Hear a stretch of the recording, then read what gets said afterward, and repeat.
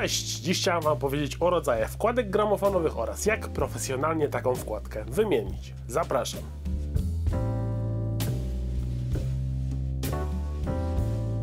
Wkładki gramofonowe dzielimy na dwa rodzaje MM i MC. Zacznijmy od tych tańszych i mniej wymagających, czyli wkładki MM. MM, czyli Moving Magnes, czyli nic innego jak ruchomy magnes. Więc są to wkładki elektromagnetyczne. Jak już mówiłem, są tańsze, ale również mniej wymagające sprzętowo. Przez nieco większą cewkę niż w wkładkach MC mogą one nieco bardziej zabarwić finalny odsłuch, ale również dzięki temu będziemy słyszeli mniej zakłóceń. Więc stanowczo wkładki MM są bardziej uniwersalne. Większość wkładek MM ma również wymienną igłę, co znacznie ułatwia eksploatowanie. Więc jeżeli zaczynasz przygodę z gramofonem lub twój zestaw stereo nie jest mocno zaawansowany lub bardziej budżetowy, to wkładka MM będzie dla Ciebie dobrą opcją. Drugi rodzaj wkładek to wkładki MC, co znaczy Moving Coil, czyli ruchoma cewka. W tym typie wkładki magnes jest nieruchomy, a drgania igły przenoszą się bezpośrednio na cewkę. W tym przypadku igła jest niewymienna, czyli musimy po prostu wymienić całą wkładkę, kiedy igła się zużyje. Charakterystyczne dla tej konstrukcji jest bardzo niskie napięcie sygnału, co oznacza, że będzie nam tutaj potrzebny porządny przedwzmacniacz gramofonowy.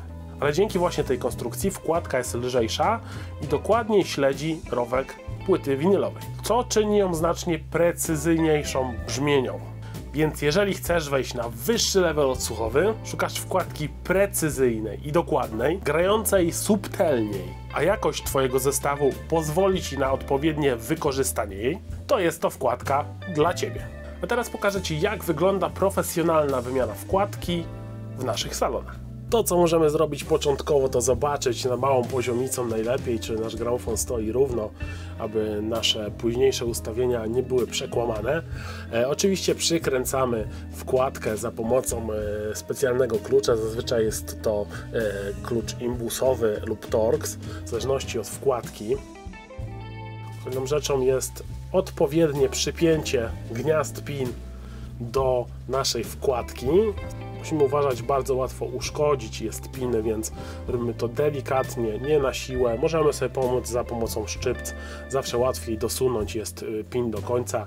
Wtedy wiemy, że na pewno ta przepustowość będzie odpowiednia. Kolejną rzeczą jest wypoziomowanie ramienia gramofonu.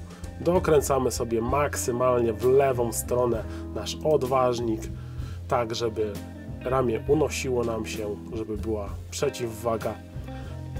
Teraz dokręcamy je w taki sposób, żeby nie unosiło nam się do góry. Wtedy wiemy, że mniej więcej siła nacisku będzie skierowana ku płycie winylowej. Kolejną sprawą jest wyważanie ramienia gramofonu za pomocą wagi. E, taką wagę, którą używamy tutaj jest to waga Project, którą możecie zakupić również u nas w sklepie. E, średnio, jeżeli chodzi o nacisk, to jest od 1,7 grama do 2 gramów, ale to jest e, też nacisk igły bardzo indywidualny, w zależności od wkładki, więc po prostu czytajmy instrukcję.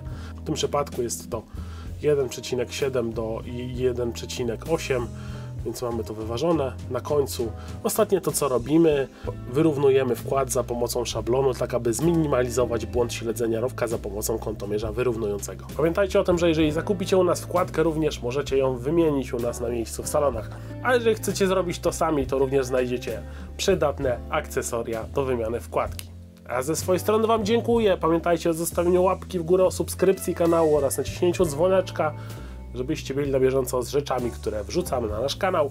A w opisie filmu znajdziecie link zakupienia wkładek gramofonowych w naszym sklepie. Do zobaczenia!